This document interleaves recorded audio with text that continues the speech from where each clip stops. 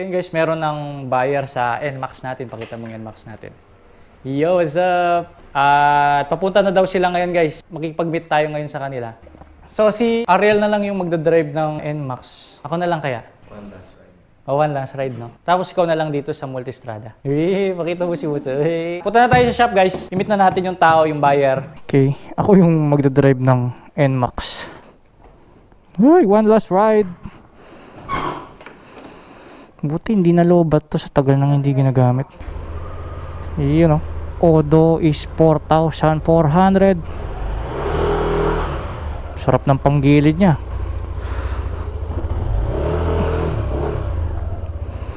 Ilalabas na ang kabayo. Sakyan mo yan ha. Sakay ka. Yan. Pandarin mo na. Yan.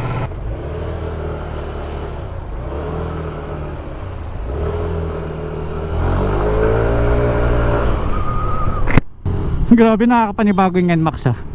Sarap gamitin pala. sa ang original plan is pambili sana ng multi kaya lang nabenta na yung Street Fighter so may pambili na ako kaya ayun. Imbis na ito yung pambili ng Multistrada, magiging pambili siya ng Maxi Scoot. Okay na okay pa yung panggilid nito. Matibay-tibay din yung speed tuner na panggilid. Shoutout kay Sir Mickey Maso. Pagaling ka sir. Sana mas mabilis ang iyong recovery at uh, makabalik ka kagad sa iyong uh, career ng pagkakarera guys. I'm very satisfied sa kanyang panggilid na speed tuner at tatak. Ayan ako yung patunay kasi 'di ba? Although di ko masyado ginagamit yung NMAX ko pero 'di ba? All goods pa rin hanggang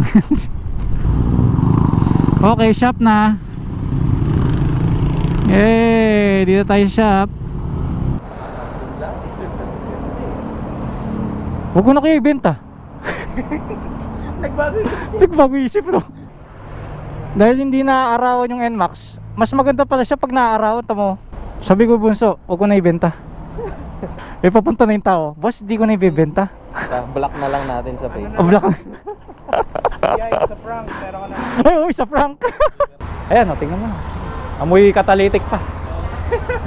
hindi yan nauulan na. Akala po kasi namin, nagbibiro lang kayo. Hindi kasi ako pag nagbenta, benta talaga.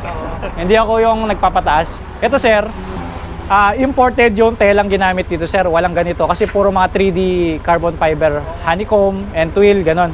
Ito, imported to, ginawa ni Spoily TV. Tapos ito, Hydro Dip kay 5J Customs. Actually, parang ayaw ko ang gamitin. Ako rin eh. Display ko lang sabi niya. Ako rin eh. Ay, di-display lang daw niya sa bahay. Kasi maraming bumibili, gusto rin i-display. Kasi hindi siya panggamit, tingnan mo. Gusto ko lang, maging masaya yung buyer, ah, mura pa, di ba?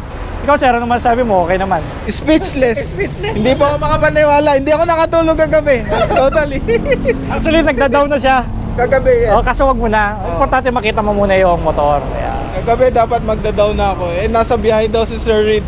So, check naman natin yung documents niya. So yun guys, nagbayad na si sir ng 120k. Oh, medyo malungkot pero dalawang motor yung nawala sa akin ngayong vlog content ko. Ano nangyari? Di ganun talaga, may changes talaga sa pagdating sa content guys. Kailangan ko talaga ng motor na pwedeng gamitin ng mga staff ko. Sold na sir, maraming salamat. Nakalimutan ko sabihin yung pangalan niya. Ah, Christopher Noel. So picture lang tayo sa harap, tara. Right. Sir, thank you, thank you. Thank you, thank you. Ah, may, may subscriber tayo. Dito. Naghihintay pa sila kanina pa eh. Hello, sir. Kumusta, kumusta? Ay, bati kayo. Sakto, naka-vlog nga pala ako. Naka-vlog nga pala. Hello! Hello. Sino gusto mong batiin? Yung mami sa... yung kasama mo, baka may gusto mong batiin. Nanay ko. Hello. Mama. Pasok ka sa loob, sir. Magkasama ba kayo? Hindi pala kayo magkasama. Akala ko magkasama kayo. Wala. Eh, Kuha ka sticker, sir. Hindi pala magkasama. Ay, ingat.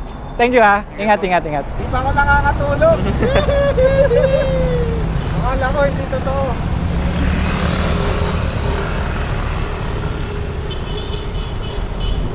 Sulit ang punta rito. Napakabait ni Boss Reed. Sobra. Solid. Ano? Ha? Shoutout sa mga tao ko. Mga San Leandro Construction. Mga operator ko sa Kalumpit. Shoutout sa inyo. Shoutout sa mama ko. Thank you. Ayan na, bubuhatin na. Bye-bye, Mac Mac.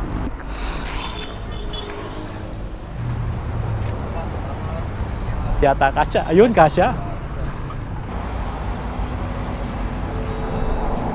Ah, bye-bye. Bye-bye na, Mac Mac. I'm very sad.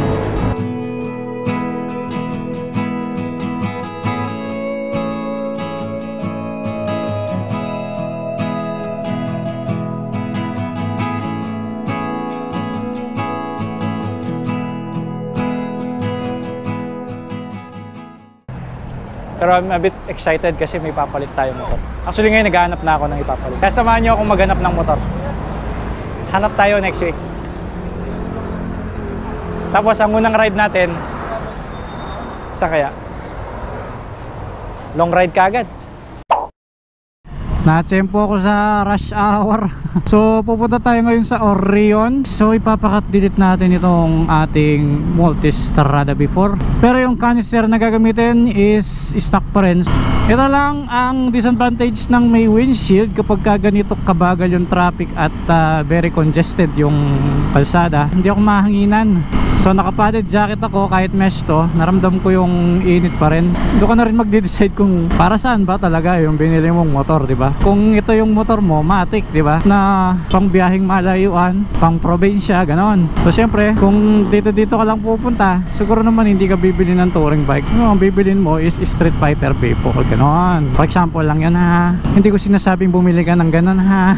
Maliban lang kung marami kang pera ako wala akong maraming pera. Nagkataon lang na opportunity eh dumating sa atin. Kaya ginrab lang natin. Pwede naman hindi ako mag Ducati di ba? Pero sayang kasi I mean minsan lang tayo mabuhay sa mundo. Ma-experience man lang natin yung kahit hindi yung pinakamahal na motor. Yung ma matikman lang natin yon di ba? Parang ito ay tikim lang. Hindi natin alam kung hanggang kailan ako naka Ducati di ba mean, hindi ko pwede sabihin na forever Ducatista tayo, di ba? Hindi natin alam yung kinabukasan. Saka dapat laging humble lang tayo. Kasi hindi mo alam baka bukas makalawa, eh wala na akong motor. Hindi mo masasabi yan eh. Saka yung kalusugan natin, hindi mo alam kung hanggang kailan ka malusog.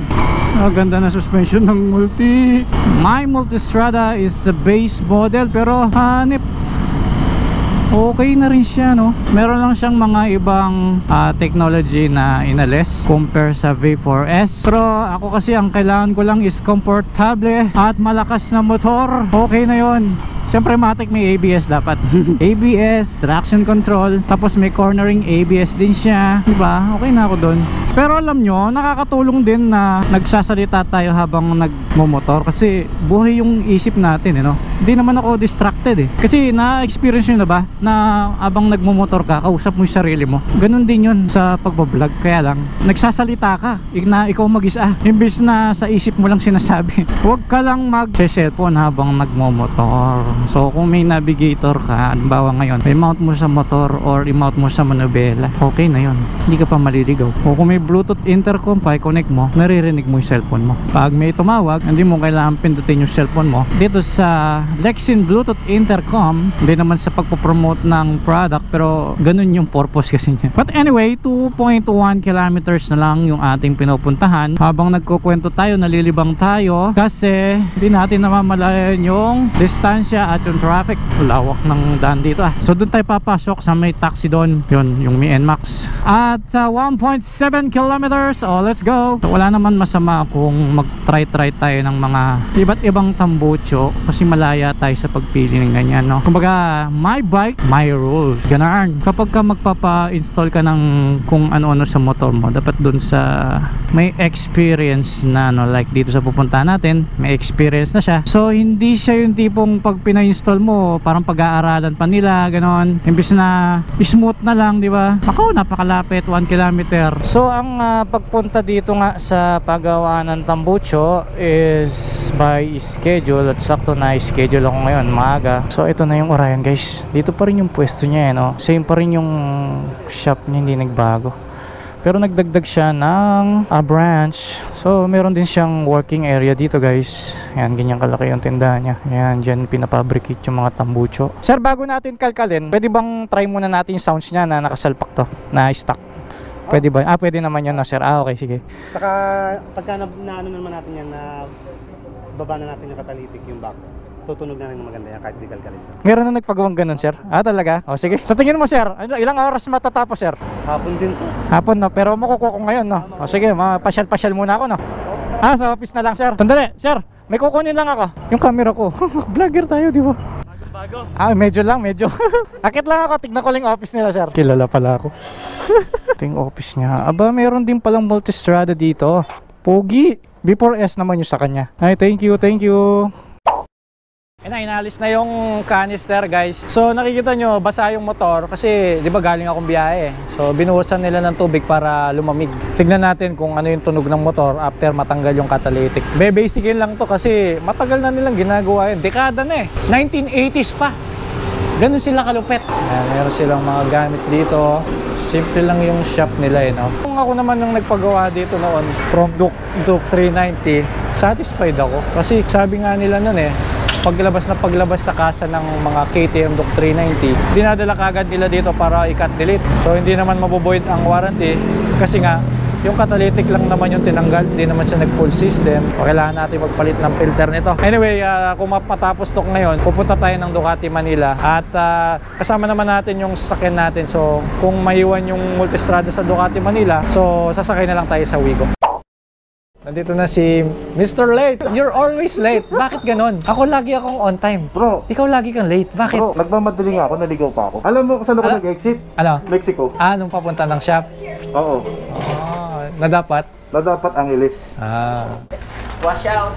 Ito yung motor ni ano, Sir JP. Yan, before S. So bago nga pala tayo pumunta doon, ito yung mga display niyang pipe. May mga finished product na siya. Hindi siguro lahat yan kung kulang pa. So puro mga bilog kasi. Ang gusto ko kasi yung katulad nung sa stock ko, yung kwadrado pa rin.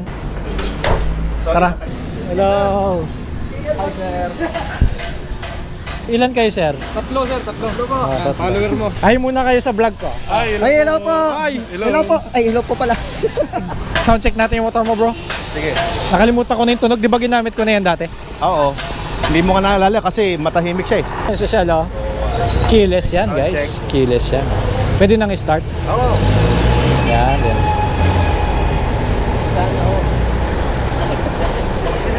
Bakit? Nakalimutan mo na mag-start ng motor ngayon? Dito ko, dito ko pinipindot yung starter. Dito nga pala. hindi yan, hindi yan Montero. Okay, okay, okay, okay.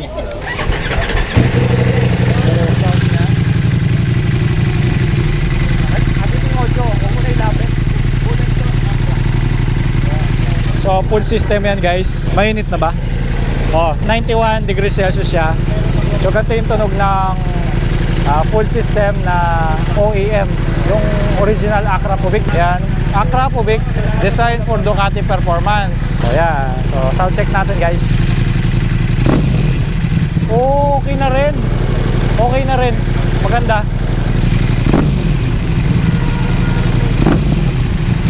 Pero pagka umaandar to ng mabilis, may pitik naman. Kwak! Oo, meron. Brap, brap, ganun. Pero hindi yung the point na medyo parang ah, nakakasakit sa tenga.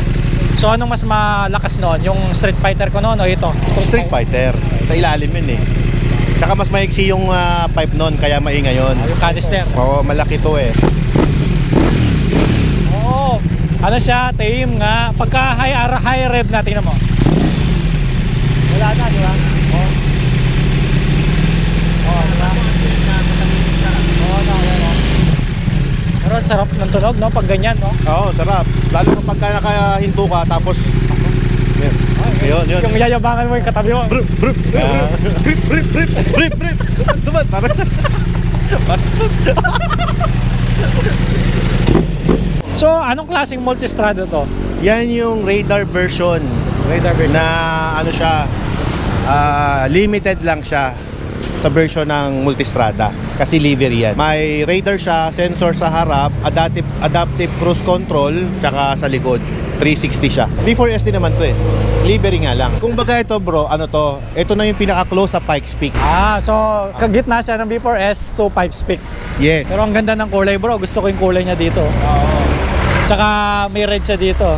So hindi pala totoo yung sinabi nilang hapon na matatapos yung pipe ko bro. Oh, ang bilis. Okay ha, tingnan natin ngayon. Kasi tina- nilalagay na nila guys. ah. Tingnan nyo, wala na yung ating catalytic. Tingnan mo. Pakita mo, sige. Wala na, diretso na. oh. Ikaw ang unang mag-subject. Ay, sound check na guys.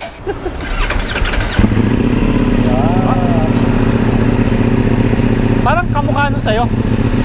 Parang, Parang kamukha lang. Pero tingnan natin yung brap. Kung mayroong brap. yung mo tignan. Pakinggan. Ay, pakinggan. Sorry, sorry. Ay, tahimik. Tahimik pa. Hindi pa pwede to. Tingnan natin yung sa kanya. Mainit na bro. Oh, may na. Galing Pangasinan. Oh, mas maingay yung sa akin. Medyo basic ito. Base ito, no? Ito.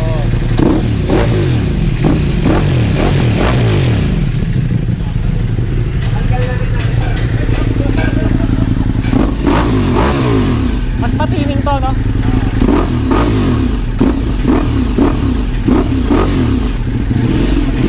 Pag ganyan, tahimik lang. Which is okay kasi pagka low speed, tahimik. Lalo sa barrio, di ba? Sa village namin. Pero pagka hataw na, Siguro test ride natin to guys, magigir lang ako. So maganda dito sa Orion, meron din silang customers lounge, malapit lang dun sa shop. At uh, may Netflix pa, di ba? Nakapanood ka pa ng TV. Yan, ito naman yung kasi yung kanyang canister guys. Ito talagang sobrang ingay nito, tingnan mo. Ang laki ng butas, di ba? Pero ang ayoko kasi dito sa canister na ito, pabilog bro. Bro, tignan mo yung, Patingin. Ayaw nga. di ba? Pabilog, di ba? Oh. Parang, ano na masyado rin, ano? O tara guys, magbabayad muna ako. Bayad na, mamagkano? So yung cut delete dito guys, para sa big bike natin is 13,000. Sir, bye-bye, bye-bye, thank you. Are you ready? Malapit lang daw yung ano dito eh, Ducati Katipunan. So medyo napaaga pa tayo ng konti sa Ducati Katipunan at ah, mukhang matatapos pa yung ating motor ngayon ano. So kami dalawa ni Alfred kasi naghanap din ng auxiliary light. So bahala na kung anong auxiliary light yung makita namin. Oh. May subscriber pa si Alfred oh. Ayun guys, kita kits sa Ducati Manila.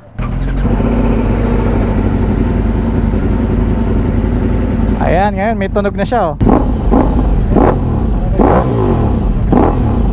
Brap na no. Nasa tahimik na side pa yung motor ko. But uh, anyway, kung mabitin pa Pwede naman ipakalkal. So medyo nagmamadali lang ako ngayon. Pwede naman natin dalhin sa Toto Pipes. Sige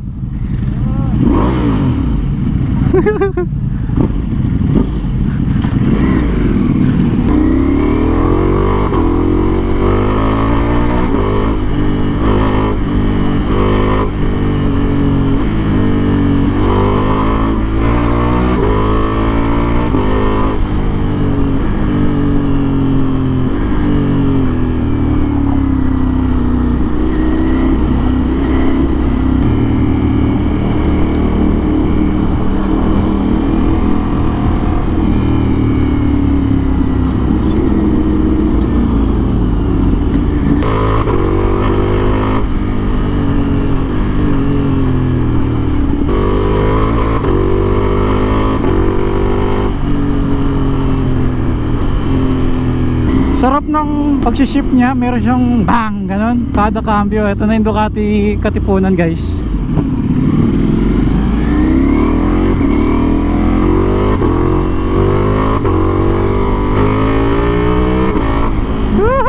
Naririnig ko na yung hataw niya. Pero pag ganito guys, tahimik siya eh, no? Arriving at Ducati Katipunan. Yun, oh. Bro, ito yung ano, yung auxiliary light na sinasabi. Ayun, oh. Ito, bro. Vai, menina. Ayun pala. Multistrada accessories. Di ba malalagay mo to? Tapos nabitin ka pa. Doon ka palang magka-crash guard para sa auxiliary. Pero at least meron ka ng OEM. Oo. Guys, Ito na yung motor natin. So, okay na yung oil seal natin. So, dalawang oil seal yung pinalitan. Pakita mo yung dalawang fork. Ayan. So, nilalagay na nila guys. At ah, sinabihan ako ng general manager ng Ducati Manila na si Sir Omi na kailangan every after ride, pinupunasan talaga yung rubber. So, ito pa yung ating chain cover guys, bagong-bago dito. So nilalagay lang yan dito guys para may cover yung chain at para hindi nadudumihan. And at the same time, speaking of chain, na-lubricate na yung ating kadena. Ayan, ang ganda. So the best talaga magpa-service dito. Tapos nga pala, yung auxiliary light na cute. So magpapa-install si Brother Alfred at titingnan namin kung okay siya. Pagka okay siya, di bili din ako, di ba? Magkano kasi yun? 30,000 pieces. 30,000 pesos para sa dalawang auxiliary light. Yung cute na maliit. Parang tag 15,000 each. Ayan guys, ah ito vlog to ni Reed pero tinake over ko muna. Sige, so, pagpasensyahan niyo muna kung paano paraan ng pag-vlog kasi hindi ako kasing galing ni Boss Bane. So, guys, makakita niyo yung kanyang bagong jacket. So, pag nakakita niyo si Boss Reed sa kalsada, hindi na black, red na talaga. Oh, pagka nakandukati. Pag Ducati, pa-picture lang kami guys. Grabe oh. Eh, I bought a new, I bought a new body protection. Lead red. Yung Reed talagang red na bro. Yun yung yung hawak ni Oms, yung bagay sa kulay ng MPS mo.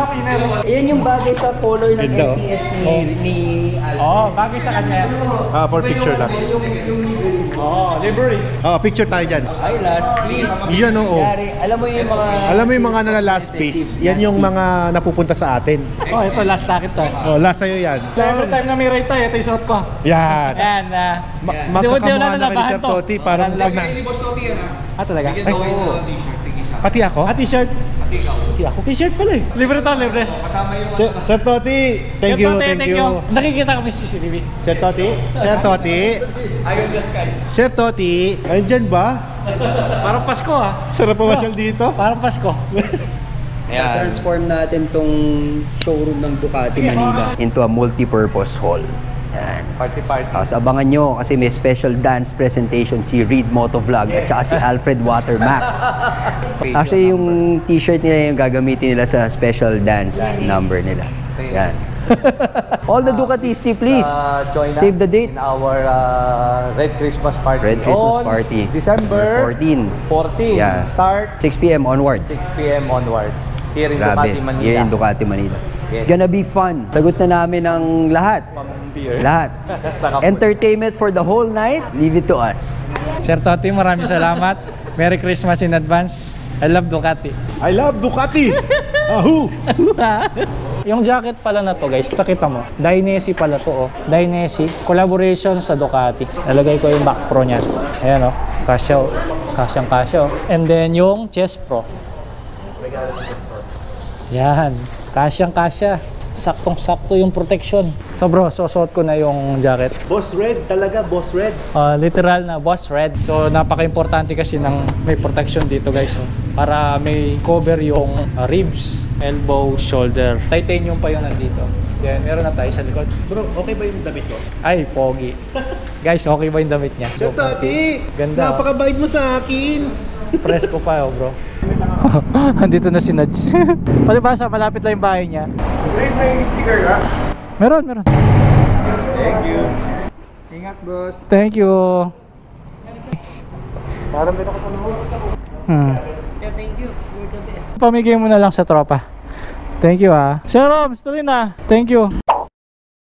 Right, let's go. Uwi na tayo. Sorry guys, medyo nagabi na tayo. It's 5.56pm pero sobrang dilim na pala no pagka ganyang oras. Pero kahit pa paano, marami tayong nagawa sa maghapon. At ah, salamat at ah, sinamahan nyo ako no. So, ang mangyari nito, susunod si Alfred sa amin papunta ng shop at isasakay yung multistrada niya doon sa van. It's super super traffic. Alas 6 ng gabi. At ganito ang sitwasyon dito. Grabe. Dito lakasan na lang loob pagka magmumotor ka dito. Sobra. Si Alfred nasa likod ko. Hindi niya ako binibitawan. Sumusunod lang siya sa akin ano. Kaya po, ibababa na ang hagdan. Tingnan nyo gano'ng kasipag si Alfred. Wala pang kasinan. Sinaga niya. Ganyan sa kalupit. Sweet comments lang, natatanggan yung pagod ko. Ah, sweet comment. Wow. Yeah, game. Pasok mga suke. What's up guys? Helper muna ako ni Waterman. Ipit! Huwag ka nang bumaba dyan. Sumama ka na hanggang Pangasinan, baba nyo. katulong magbaba eh. Walang exit dyan. Diyan ka na! Huwag ka na umuwi! Diyan ka na lang! Take home ka na daw ni Boss Watermax. Magaling mag-video eh. Pero malakas kumain. Malakas lang kumain. Tsaka gusto niya steak araw-araw. Alright, so tapos na ang naisakay yung motor. At ready na umuwi si paring Alfred. At babiyahe pa yan ng Pangasinan guys. Right guys, hanggang dito na lang. Maraming salamat. At pagpapalam na kami ni Bro Alfred. Salamat Bye-bye, guys. Wala mo ng bomba pero merong artificial bomba from the Z1000 editor. Ilagay mo na lang. 1, 2, 3. Read for speed!